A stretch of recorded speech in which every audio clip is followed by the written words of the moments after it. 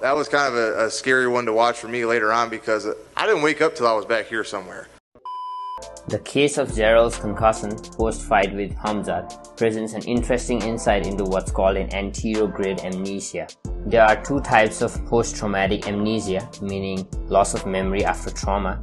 Anterograde amnesia means the inability to register new memories after brain trauma, which often means after waking up if the patient was rendered unconscious by the trauma. That I got put out pretty bad.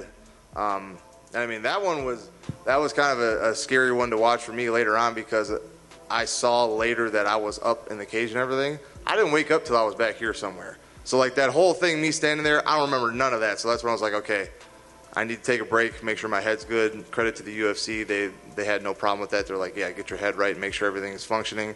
So after waking up, the interaction between him and his coaches absolutely occurred but now he can't remember any of that because his brain just couldn't register new memories for a while until backstage, and that's the period of anterograde amnesia.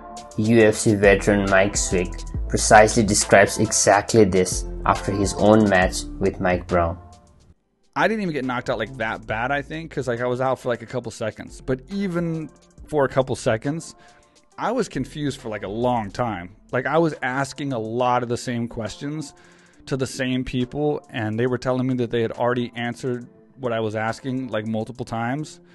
And this went on for like a while. Retrograde amnesia means the inability to remember events that occurred just prior to trauma, including the concussional blow itself. There's usually a short period of retrograde amnesia where fighters are typically asking what really happened as they are unable to recall what happened just before the trauma was inflicted. This happens not only in knockouts leading to fight stoppage, the classic example being Daniel Cormier asking what happened after the second Jon Jones fight, but also happens in concussions during the fight itself where the fighters are disoriented and take time to realize where they are and orient themselves. With respect to time, place, and person, in Gerald's fight with Khamzat, the duration of post-traumatic amnesia was longer than his previous concussions. Since the duration of amnesia correlates well with the severity of concussion and the power of the blow, it only attests to one thing Khamzat Chimaev has serious and brutal power in his hands.